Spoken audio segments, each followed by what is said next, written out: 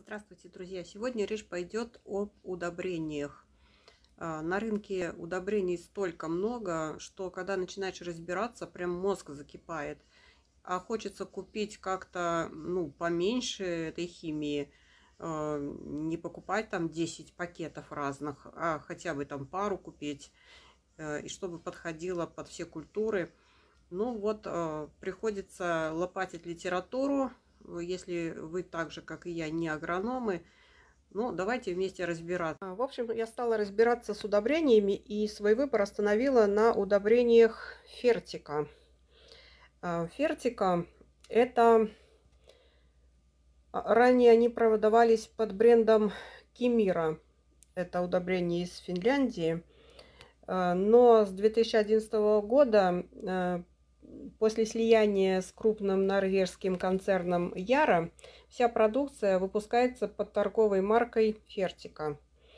Э, в составе удобрений нет хлора и очень большой ассортимент. Э, но есть удобрения сезонные. Весна, лето, осень. Они гранулированные, их просто вносишь в почву и заделывают. Есть водорастворимые а, с разным содержанием азота, фосфора и калия. Они вот в таких разноцветных пачках. А, здесь вот желтая больше фосфора, красная больше калия, коричневая тоже. Жидкие в бутылках и в ампулах, например, для роз. Для подкормки своей рассады я остановила свой выбор на удобрении э, фертика Кристаллон. Э, водорастворимое удобрение, э, желтое, потому что в составе азота 13%, фосфора 40% и калия 13%. На данном этапе ну, когда, конечно, они подрастут немножко, сейчас еще рано подкармливать, когда появится два настоящих листочка, нужен растениям фосфор для корневой системы. Подкармливать очень просто, э, минимальный расход. Э, вот для овощных культур 3 подкормки за сезон. Э, нужно буквально 1 чайная ложка на 2,5 литра.